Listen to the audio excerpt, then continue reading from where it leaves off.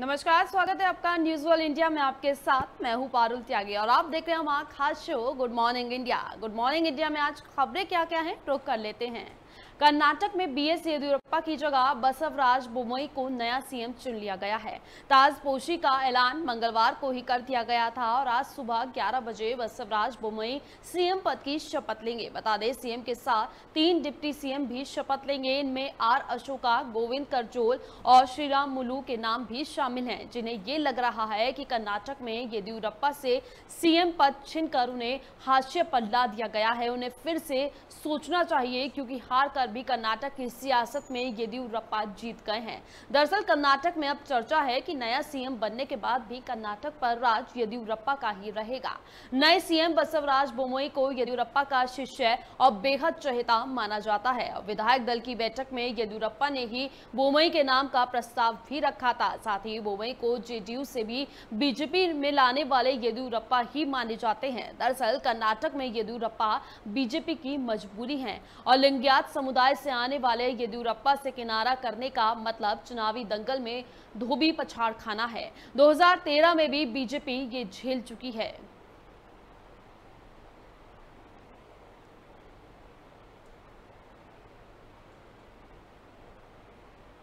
राजस्थान कांग्रेस में पिछले करीब एक साल से जारी गुटबाजी को खत्म करने की अब कवायद शुरू होने जा रही है। कांग्रेस आलाकमान ने पंजाब का झगड़ा निपटाने के बाद राजस्थान का रुख करते हुए केसी वेणुगोपाल और अजय माखन को राजस्थान का फसाद निपटाने की ज़िम्मेदारी दे दी है। पहले चरण में रविवार को दोनों नेता जयपुर पहुँचे थे और सीएम अशोक गहलोत से उन्होंने मुलाकात के बाद काफ़ी विधायकों से भी मुलाकात की थी। अब दूसरे चरण में आज सुबह बता दें, दूसरा चरण आज से शुरू हो रहा है और जब राजस्थान के प्रभारी अजय माखन एक एक करके सभी विधायकों से जिलेवार तरीके से मुलाकात करेंगे। माखन की विधायकों की संभावित मुलाकात से पहले ही राजस्थान के गहलोत मंत्रिमंडल में फेरबदल की चर्चा भी ज़ोर पकड़ रही है। किसकी कुर्सी जाएगी और किसका होगा मंत्री पद पर ताजपोशी, ये सब बातें अब सियासी गलियारों में सुनाई देने लगी हैं। वैसे इतना समय है कि राजस्थान में कांग्रेस के सभी विधायकों को साथ पाना माकन समेत समेत सभी विधायकों के लिए बड़ी चुनौती होगी। इसी बड़ी वजह से दो हिस्सों में विभाजित राजस्थान कांग्रेस हुई है और एक तरफ़ अशोक गहलोत का खेमा दिख रहा है तो दूसरी तरफ़ सचिन पायलट का खेमा है। ये देखना रोचक होगा कि किस खेमे को संभावित फेरबदल में ज़्यादा तवज्जो दी जाएगी।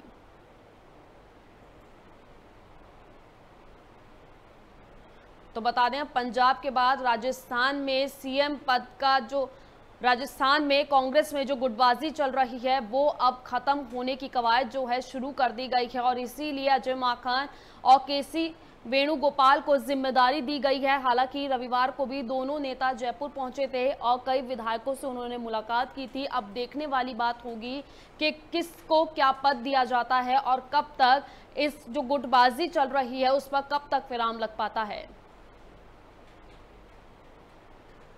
बंगाल के सीएम ममता बनर्जी इस वक्त दिल्ली दौरे पर हैं और आज उनकी सोनिया गांधी से मुलाकात भी होनी है।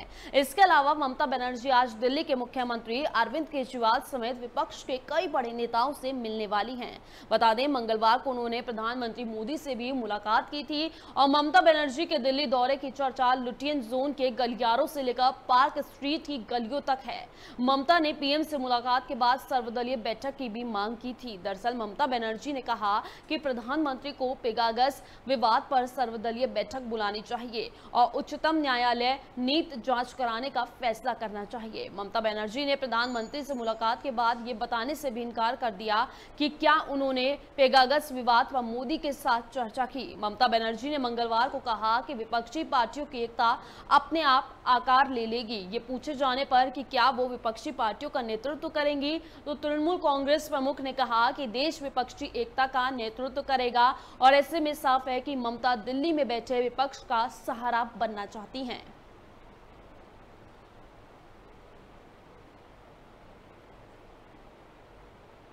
राकेश अस्थाना को मंगलवार को दिल्ली पुलिस कमिश्नर नियुक्त किया गया है। वो सीबीआई के स्पेशल डायरेक्टर भी रह चुके हैं। बता दें, राकेश अस्थाना बलाजी श्रीवास्तव की जगह लेंगे। साथ ही अस्थाना बॉर्डर सिक्योरिटी फोर्स में महानिदेशक के पद पर भी तैनात थे। साथ ही सीबीआई के पूर्व special director Rakesh Asthana Gujarat cadre के उन्नीस सौ चौरासी बैच के आईपीएस ऑफिसर हैं। गृह मंत्रालय के आदेश के मुताबिक बीएसएफ महानिदेशक के पद पर तैनात राकेश अस्थाना तत्काल प्रभाव से दिल्ली पुलिस कमिश्नर नियुक्त किए गए हैं। उनका एक साल का कार्यकाल होगा और सीबीआई के कई रैंक पर काम करने से पहले राकेश अस्थाना गुजरात पुलिस में अपनी सेवाएँ भी दे चुके हैं। बता दें, पिछले साल अस्थाना को बीएसएफ का महानिदेशक भी नियुक्त किया गया था। एस एस को भी बीएसएफ महानिदेशक का अतिरिक्त प्रभार सौंपा गया है।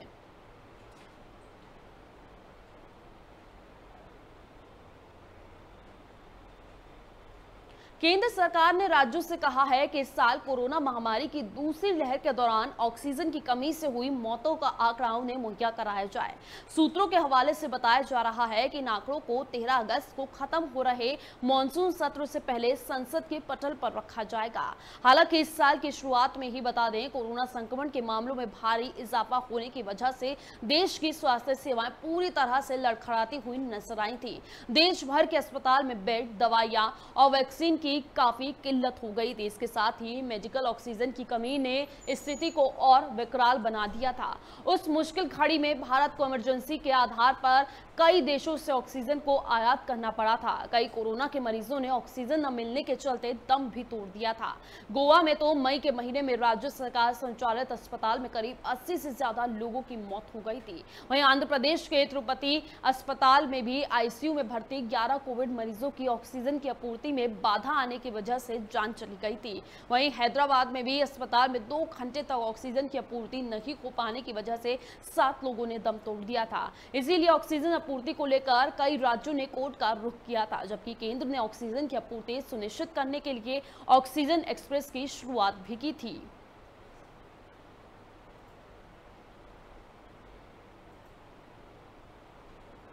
मानसून ने इस बार दिल्ली वालों को करीब 15 दिन इंतज़ार कराया, लेकिन दस्तक देने के बाद मौसम खूब मेहरबान हो रहा है। सबसे बड़ी बात यह है कि बारिश के मामलों में दिल्ली ने सेंचुरी मारी है। दरअसल, दिल्ली के कुछ इलाकों में 100 मिलीमीटर बारिश दर्ज की गई है, जो कि दो, साल 2003 के बाद का सबसे बड़ा रिकॉर्ड है।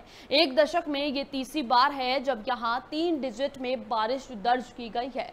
हालाँकि अब तक एक महीने में सबसे बड़ा रिकॉर्ड दो मिलीमीटर मिलीमीटर का है, जो कि 21 जुलाई उन्नीस में बना था। मंगलवार को भी मौसम विभाग ने दिन भर बारिश का अनुमान लगाया था और हुआ भी वैसा ही। दिन के दो तीन घंटे छोड़कर दिल्ली भर में रिमझिम रिमझिम बारिश पूरे दिन होती रही। इसी वजह से बारिश ने एक और नया रिकॉर्ड बना लिया। बता दें कि 18 साल बाद जुलाई महीने में सबसे ज़्यादा बारिश हुई है।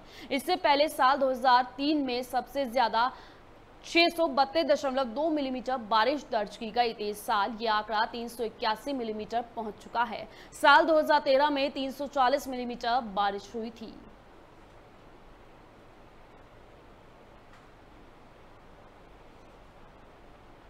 कोविड 19 वैक्सीन कोरोना संक्रमण से संतानवे दशमलव चार फ़ीसदी प्रोटेक्शन देती है। अपोलो हॉस्पिटल ग्रुप द्वारा कोरोना संक्रमण की जाँच के लिए की गई एक स्टडी में ये दावा किया गया है।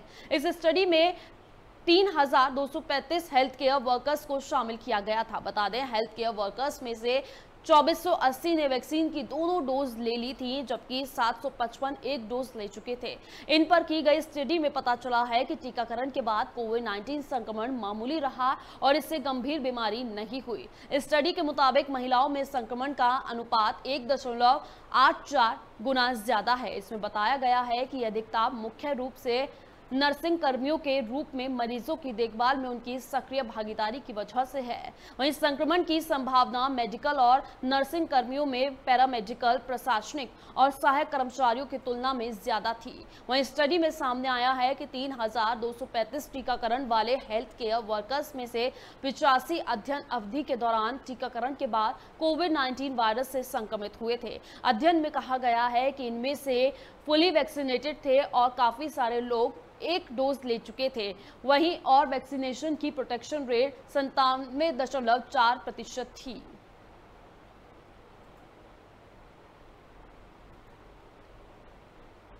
अमेरिका के विदेश मंत्री एंटनी बिल्कन मंगलवार को दो दिवसीय यात्रा पर भारत पहुँचे। ब्लिंकन द्वारा बुधवार को विदेश मंत्री एस जयशंकर और राष्ट्रीय रक्षा सलाहकार अजीत डोभाल से आज मुलाकात करेंगे। बता दें, अफ़गानिस्तान में बिगड़ते सुरक्षा हालात के बीच ब्लिंकन भारत के साथ द्विपक्षीय संबंधों को मज़बूत करने और हिंद प्रशांत क्षेत्र में क्वाड फ्रेमवर्क में सहयोग बढ़ाने के इरादे से भारत और कुवैत की यात्रा पर आए हैं। कुवैत रवाना होने से पहले ब्लिंकन, आज प्रधानमंत्री मोदी से भी मुलाकात करेंगे और भारत रवाना होने से पहले ब्लिंकन ने ट्वीट भी किया था कि वो अमेरिका के प्रमुख साझेदारों के साथ हिंद प्रशांत और मध्य पूर्व में साझा हितों को मज़बूत करने के लिए सलाह मशवरा करेंगे। वहीं भारत इस दौरान अमेरिका द्वारा टीका निर्माण में इस्तेमाल होने वाली सामग्री की अपूर्ता आपूर्ति में भी किसी भी तरह के भी व्यवधान को दूर करने पर ज़ोर देगा। साथ ही क्वाड वैक्सीन मुहिम को सुचारू रूप से लागू करने पर भी दोनों देशों के बीच चर्चा संभव है। बतौर विदेश मंत्री ये ब्लिंकन की पहली भारत यात्रा है। हालाँकि जनवरी में सत्ता में आने के बाद बाइडन सरकार की ओर से वो भारत का दौरा करने वाले तीसरे वरिष्ठ पदाधिकारी हैं। इससे पहले भी रक्षा मंत्री मार्च महीने में और जलवायु परिवर्तन पर विशेष राजनयिक जॉन कैरी अप्रैल में दिल्ली पहुँचे थे। सरकारी सूत्रों ने बताया है कि ब्लिंकन के दो दिवसीय भारत दौरे में चार देशों के समूह, क्वाड के ढांचे के तहत मज़बूत गठजोड़ बनाने पर प्रमुख रूप से चर्चा की जाएगी और इसी के तहत साल के आखिरी तक क्वाड देशों, जिनमें भारत, अमेरिका, ऑस्ट्रेलिया और जापान शामिल है, उनके विदेश मंत्रियों की संभावित बैठक भी होनी है।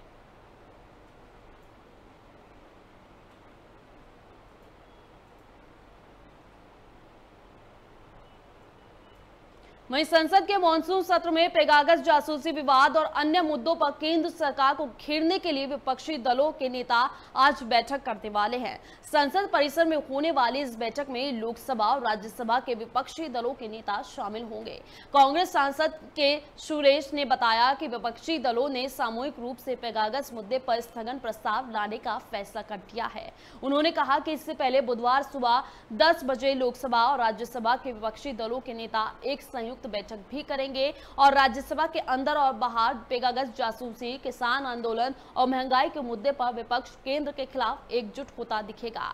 विपक्ष के नेता मल्लिका अर्जुन खड़गे ने कहा कि सरकार कितना भी अड़ियल रवैया अपनाए, हम केंद्र के खिलाफ एकजुटता से खड़े होकर जनता से जुड़े ज़रूरी मुद्दों पर संसद में आवाज़ बुलंद करते रहेंगे। और उच्च सदन में मंगलवार को भी विपक्ष ने पेगागस कृषि कानून, महँगाई समेत अन्य मुद्दों पर चर्चा के लिए नोटिस दिए थे। साथ साथ ही सदन स्थगित होने पर मल्लिकार्जुन खड़गे के नेतृत्व में आनंद शर्मा, डीएमके के तिरुचि शिवा, तृणमूल कांग्रेस के सुखेंदु सिपाही से बिनोव विश्वम और सीपीएम से इले माराम करीम और आरजेडी से मनोज झा, आम आदमी पार्टी के संजय सिंह और समाजवादी पार्टी से राम गोपाल यादव ने बाहर आकर अपनी बात रखी थी।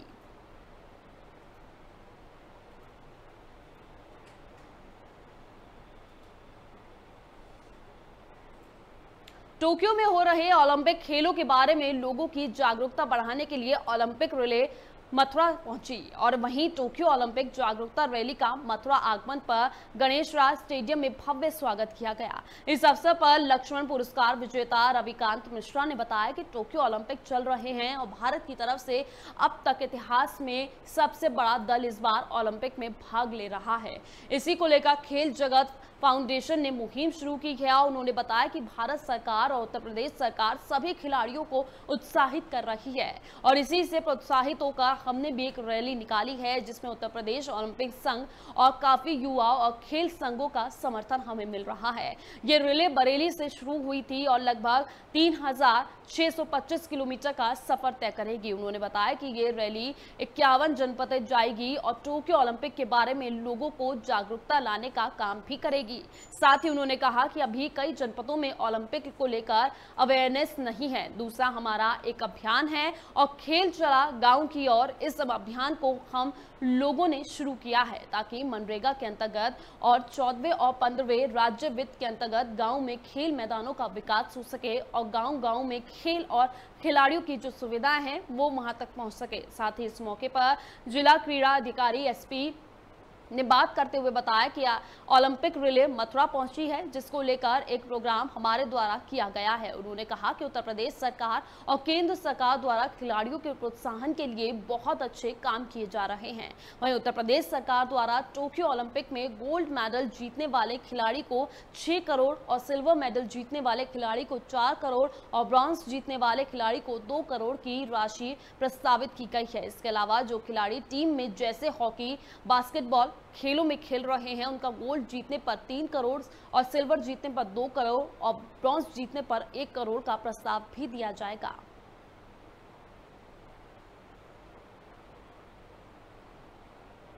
पहले ये पहले से काफ़ी समय से इसका जो है आगाज़ हो चुका है। केंद्र सरकार और प्रदेश सरकार के द्वारा अगर इंडिविजुअल इवेंट में अगर ओलंपिक्स में अगर कोई स्वर्ण पदक लाता है तो तो यूपी सरकार के द्वारा छः करोड़ की धनराशि दी जाती है। अगर सिल्वर मेडल लाते हैं तो चार करोड़ और ब्रॉन्ज मेडल लाते हैं तो दो करोड़ की राशि का ये प्रावधान है, पूरा निश्चित है, यूपी सरकार के द्वारा। इसी तरह अगर हम इंडिविजुअल में लाते हैं, जैसे कॉमनवेल्थ है एशियंस गेम है तो उसमें जो है पंद्रह लाख की, पंद्रह पंद्रह लाख की धनराशि का पुरस्कार दिया जाता है। अगर नेशनल में बच्चा प्रतिभाग करता है, वो सॉरी मेडल लेके आता है तो उसको जो है पिछहत्तर पचास और पच्चीस हज़ार की राशि से सम्मानित किया जाता है। इसका उद्देश्य साफ़ है कि इस समय टोक्यो में ओलंपिक्स हो रहे हैं और उसमें भारतीय दल अब तक के इतिहास में सबसे बड़ा दल गया है।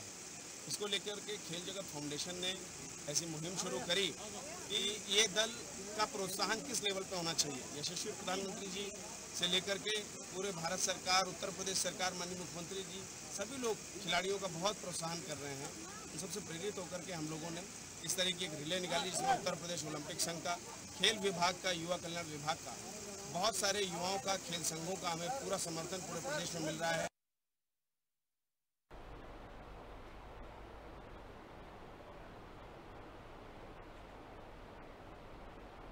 वहीं मथुरा में पुलिस को बड़ी सफलता हाथ लगी है। दरअसल मथुरा के थाना नौह झील पुलिस ने डकैती की योजना बना रहे नौ लोगों को गिरफ़्तार कर लिया है। इसके साथ ही पुलिस ने पूर्व में हुई तीन चोरी की घटनाओं का भी खुलासा कर दिया है। वहीं गिरफ़्तार किए गए डकैतों के कब्जे से पुलिस ने एक सौ अड़तीस गैस सिलेंडर, बारह बोरी सरसों और बत्तीस हज़ार तीन सौ बरामद किए हैं। इसके साथ ही पुलिस ने चोरी की घटनाओं में इस्तेमाल की गई दो गाड़ियाँ, दो तमंचे, चार ज़िंदा कारतूस, पाँच छर्रे और एक गन और सब्बल और छेनी प्लास लोहे की रोड, चैक और फावड़े भी बरामद किए हैं। वहीं पुलिस पूरे मामले में आरोपियों को गिरफ़्तार कर आगे की कार्रवाई में जुट गई है।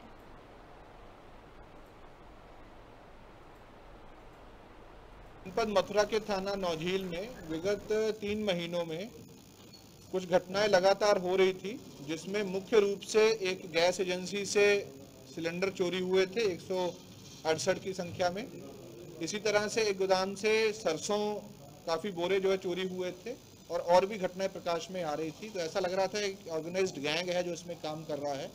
इन सभी घटनाओं की घटनास्थल निरीक्षण और वहाँ से मिले साक्ष्यों को जब आपस में मैच किया गया, उस पर स्टडी किया गया तो एक गैंग ट्रेस हुआ, जिसके 10 मेंबर्स को आज अरेस्ट करने में सफलता मिली है, जिसमें एक महिला भी शामिल है। विशेष रूप से ये जो गैंग है, ये गाजियाबाद के रहने वाले शकील और बिहार के रहने वाले मूलतः राजू बिहारी द्वारा गैंग बनाया गया है, जिसमें इन दस लोगों को शामिल करके इनको टारगेट किया जाता घरों को टारगेट करके या गोदाम को टारगेट करके वहाँ से चोरी की वारदात की जाती थी। शकील जो है, वो गाजियाबाद का रहने वाला है और वहाँ का हिस्ट्री शीटर अपराधी है। जो सिलेंडर चोरी की इंडियन की एजेंसी से घटना हुई थी, उसमें से 168 में से 138 सिलेंडर्स रिकवर हो गए हैं। जो सरसों की चोरी की घटना हुई थी, उसमें भी काफ़ी बोरे जो हैं वो बरामद हुए हैं। इसके साथ साथ एक घटना लूट की रात्रि के समय पर घर में घुसकर हुई थी। उस घटना में भी जो चार मुलजिम अंदर गए थे, उन, उनके भी पूछताछ में बात सामने आई है कि इसी गैंग द्वारा वो घटना भी कारित की गई थी। वादी से भी इस संबंध में बात हुई है। वहीं बाराबंकी की जैतपुर पुलिस ने एक अंतर जनपदीय मार्फिन तस्कर को गिरफ़्तार कर लिया है। पुलिस ने अभियुक्त के पास से 560 ग्राम अवैध मार्फिन और मोबाइल फ़ोन और एक कार भी बरामद की है। प्रेस कॉन्फ्रेंस के दौरान मामले की जानकारी देते हुए अपर पुलिस अधीक्षक मनोज कुमार पांडे ने बताया है कि अभियुक्त पहले भी मार्फिन तस्करी के आरोप में जनपद अयोध्या में जेल जा चुका है। पूछताछ में अभियुक्त ने बताया है कि वो मार्फिन की छोटी छोटी पुड़िया बनाकर ग्राहकों को गाँव के बाहर जगह बदल बदल कर बेचता था ताकि किसी को शक न हो सके। वहीं जैतपुर कोतवाली पुलिस ने शातर अभियोग को धर दबोच लिया है और आगे की कार्रवाई में पुलिस जुट गई है।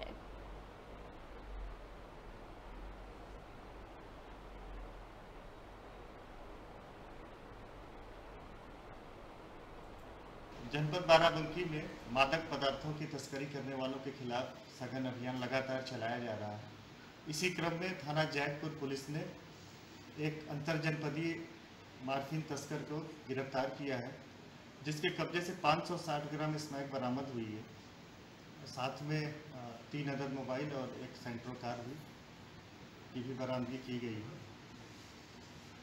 ये अभियुक्त छोटी छोटी पुड़िया बनाकर बाराबंकी से लगे आसपास के जिलों में लगातार मार्फिन की तस्करी करता रहा है। इसका काम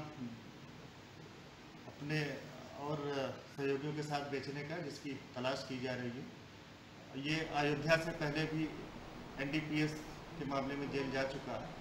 आज इसकी गिरफ्तारी की गई है और इसको गिरफ़्तार करके जेल भेजा जा रहा है। मथुरा के भरतपुर गेट क्षेत्र के स्थानीय निवासियों ने पानी की समस्या को लेकर भरतपुर गेट से जंक्शन को जोड़ने वाले मार्ग पर अवरुद्ध किया। उनका कहना है कि लंबे समय से क्षेत्र में पानी की समस्या है और पार्षद से शिकायत करने पर भी समस्या का हल नहीं हो रहा है। हालात ये हैं कि अब पाँच दिन से तो एक बूंद पानी भी नहीं पहुँचा है और बस नगर निगम के द्वारा टैंकर रखवा दिए जाते हैं और उस पर भी आए दिन लड़ाई होती रहती है। हालात इतने बिगड़ चुके हैं कि टैंकर से पानी लेने में कई लोगों के बीच खूनी संघर्ष भी हो चुका है। आपको बता दें कि भरतपुर गेट के टकला गली ऊँट गली, शंकर गली और चुरियाना मोहल्ले में पानी की भारी किल्लत हो रही है, जिसके चलते स्थानीय निवासियों ने हाथ में खाली बर्तन लेकर सड़क पर बैठकर प्रदर्शन किया, साथ ही रोड पर तार लगाकर आने वाले वाहनों को भी रोक दिया। वहीं मौके पर पहुँचे भरतपुर गेट चौकी इंचार्ज ने लोगों को समझा बुझाकर जाम खुलवाया, साथ ही जाम लगा रहे लोगों ने कहा कि उन्हें शाम तक का आश्वासन दिया गया था और अगर नगर निगम के द्वारा शाम तक पानी नहीं उनके घर पहुँचा तो वो फिर से भरतपुर गेट चौराहे को जाम करेंगे।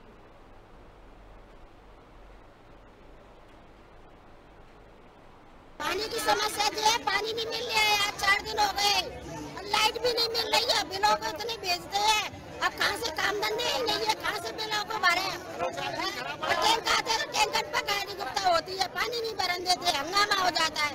बताओ पब्लिक कहाँ जाएगी? समस्या जी है कि पानी चार पाँच दिन आके नल ना आ रहे। अगर तीस तारीख तीस तारीख। अब चैम्बर टैंकर भेज रहे टैंकर पे लड़ाई आ रही है। दो जने इनकी खोपड़ी फूट गई हमारे घर में है ना? और परेशानी कितनी है और लाइट तो लाइट ना आ रही। आते तो आधे घंटे पड़े। नल से पानी नहीं आता यहाँ? नहीं नहीं बिल्कुल नहीं यार और नल के पानी कभी जब महीना दो महीना है गे। ज़्यादा ना आते ते दो बजे नल ढाई बजे आवाज़ देते नहीं है कुछ भी देते नहीं सोती रह गई तो रह गई पब्लिक। मार गई फिर से मेरा यहाँ चुकी वाले मोहल्ले पास लग रहा है है? लग रहा है। सबर वहाँ पे लेन लग रही है। जब जाके पानी भरे एक दो बासन मिला बात का हुए 2022 के विधानसभा चुनाव का बिगुल बच चुका है, जिसके चलते इस बार वोटरों को लुभाने के लिए जहाँ बसपा ने ब्राह्मण सम्मेलन कर ब्राह्मण वोट बैंक में सेंध लगाने की कोशिश की है तो वहीं मंगलवार को राष्ट्रीय लोकदल के राष्ट्रीय अध्यक्ष जयंत चौधरी के निर्देशन पर जनपद मुजफ्फरनगर की खतौली विधानसभा सीट से भाईचारा सम्मेलन की शुरुआत की गई, जिसमें छत्तीस बिरादरी के हज़ारों लोगों ने हिस्सा लिया।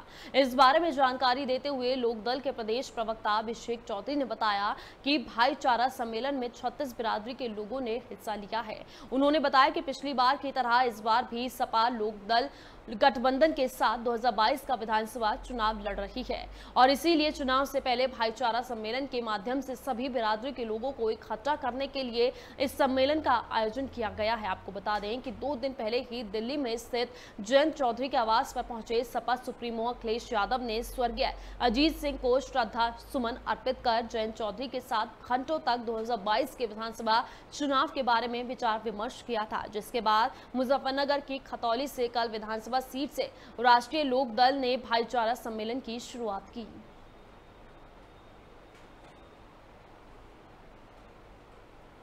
भाई साहब, ये तो इंसानियत का सबसे पहला और सबसे ज़रूरी काम है। भविष्य रोशन होने के लिए भाईचारे का पैगाम देना और भाईचारे का काम करना, यही इंसानियत का असल फ़र्ज़ है। इंसान के काम आ इंसान, यही मज़हब, यही दीन, यही ईमान। हिंदू है या मुसलमान, सब एक माँ बाप के पैदावार सब एक कच्चे के सवार। तो यही हमारे जयंत भाई जो है, इस वक्त निष्पक्ष होकर पहले से उनके बड़ों ने भी यही किया है कि निष्पक्ष होकर तमाम समाज को मिला के और चले हैं। तो जयंत भाई भी जो है निष्पक्ष होकर के चल रहे हैं। जी सम्मेलन से 2022 की तैयारी बस ये के सबसे पहले तो इंसानियत का पैगाम है ये बेस और बुनियाद है।